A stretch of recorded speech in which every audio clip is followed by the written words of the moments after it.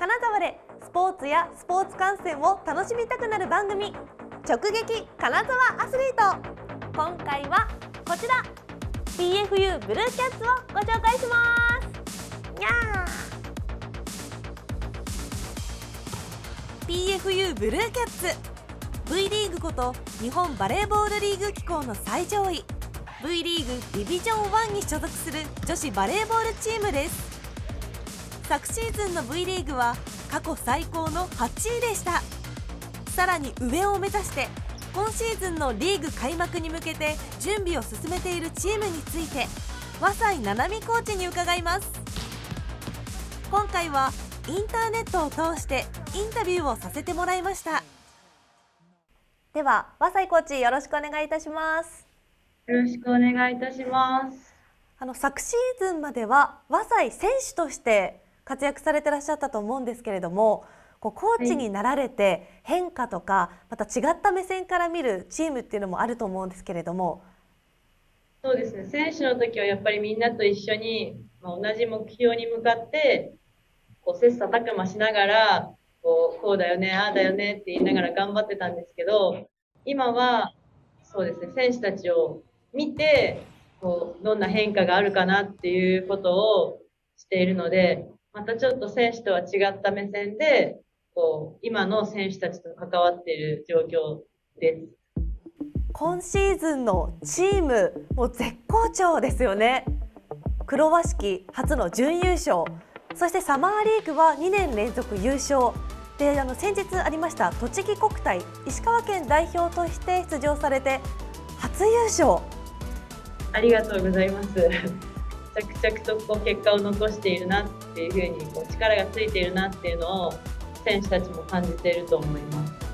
チームの雰囲気とかいかがですか？今移籍でいろんな子たちも来てるのでその子たちもだんだん馴染めてきたのでとてもいい状況かなっていうふうに思います。リーグに向けて勢いに乗っている PFU だと思うんですけれども和西コーチの中で特に印象に残っている試合とかプレーっていうのはありますか？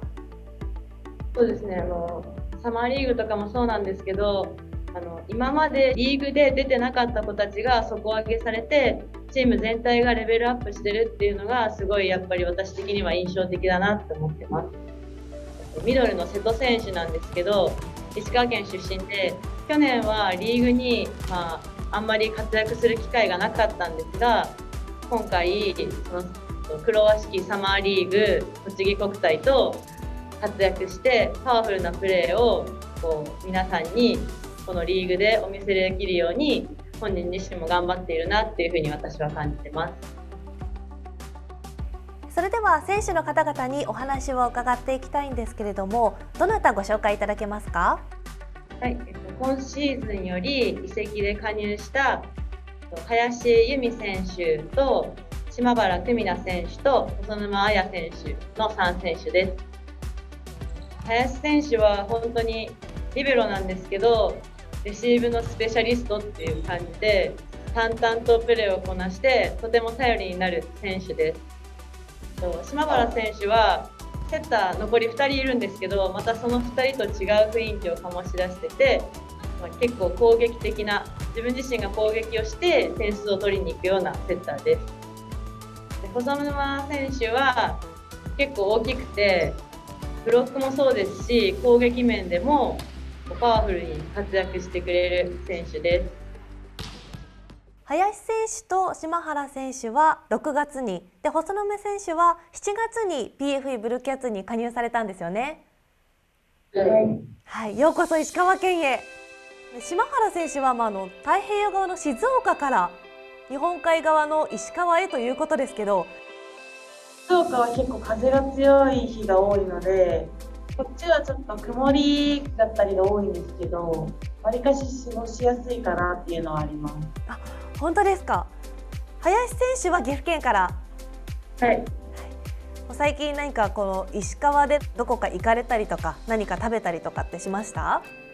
チャーカレー行きましたそうです鍋谷選手と堀口選手と3人でとチャンピオンカレーを初めて食べに行きました。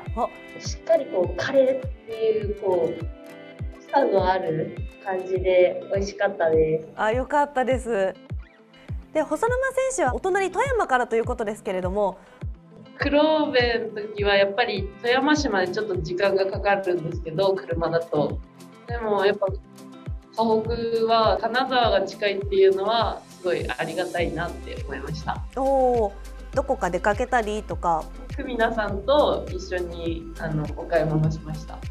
お洋服とかを見たくて気になったお店をブラブラして回りました。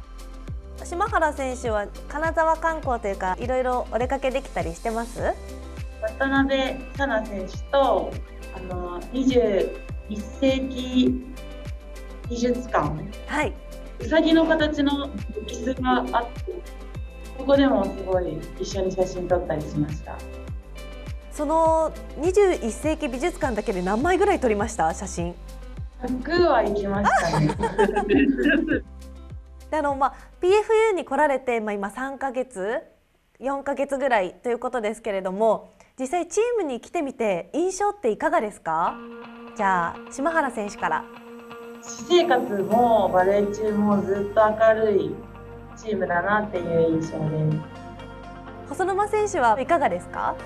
練習試合とかさせてもらう機会も多かったのですごく自分の中でも印象強いチームなんですけど相手としては少しやりづらいっていうのがあったので、まあ、実際入ってみてすごい楽しいし賑やかっていうのは、まあ、みんな言ってる通りなんですけど、まあ、これからリーグなんでその試合の部分ももっと楽しみだなって思ってます。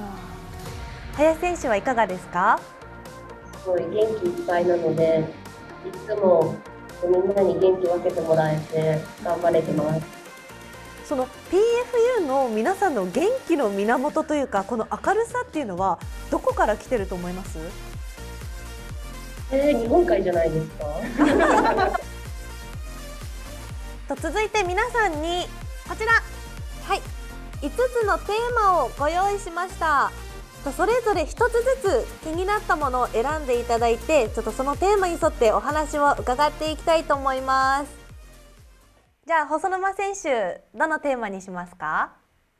最近これにハマってますっていうので集めてるんですけど、スキンケアの品っていうか用品が好きですごい集めてます。えー、美容グッズっていうんですか？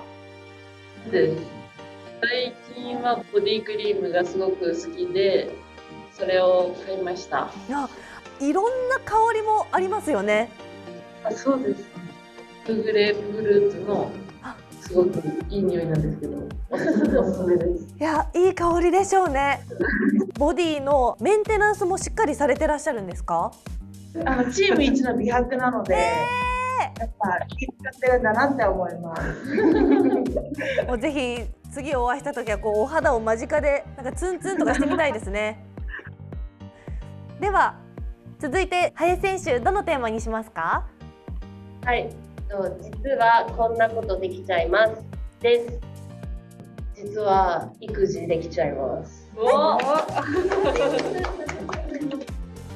娘がいるんですけども、何ですか娘さんおいくつですか？1歳半年になりました。可愛い時ですね この前、えっと、休みの日に帰った時は「いいや!」って言って なんかすごい言ったことに対してなんか嬉しそうに反抗してました娘さんとどんな風に過ごしてる時が癒しですか？やっぱ寝かせてこう寝顔見てる時がやっぱり一番癒されます、えじゃあえどのぐらいの頻度で会えるんですか？まあ、月に3回ぐらい。で、まあ、最低でも月に2回なんで、まあ、2週間に1回ぐらいですかね。は あまあ、動画を送ってもらってでこう仕事が休みの日とかはこう練習終わりにこうビデオ電話してもらったりとか。もう早く会いたいっていう気持ち募りますね。そうですねでは島原選手どのテーマにしましょスローフォレブルーニャです。う待ってました。じゃあちょっとあの後ろにブルーニャいるんで振り返らずにそのままどこも見ずにホワイトボードに書いていただいてもいいですか？せっかくだったら皆さんのブルーニャ見たいです。みんなみんなで。わみんなのブルーニャ見たいです。ありがとうございますいつもあの左手でスパイクってるやつがさ、のしか見てないから、正面ってわかんない。じゃあ皆さん書き終わったら一斉に見せていただこうと思います。書けました？はい。はい。せーの。お願いします。あえ？可愛い！ありがとうございます。林選手のめちゃめちゃ上手くないですか？特徴捉えてますめっちゃ。弾けてる。ねえ可愛い。あ細沼選手のもなんかちょっと小悪魔っぽいブルーニャ柴原選手のブルーニャも可愛いんですけどなんか絵本に出てくるような猫さん。キャラクターにいそう。すごい皆さん絵心ありますね。とっても上手。可愛いブルーニャありがとうございます。サバサイコーチまもなく V リーグ2022-2023シーズンが開幕となりますね。チームに期待することどんなことありますか？やっぱりこのチームで日本一を目指しながら全員で切磋琢磨しながら頑張っていきたいなと思います。和西コーチとしてチームと一緒にどんな思いで戦っていきたいですか？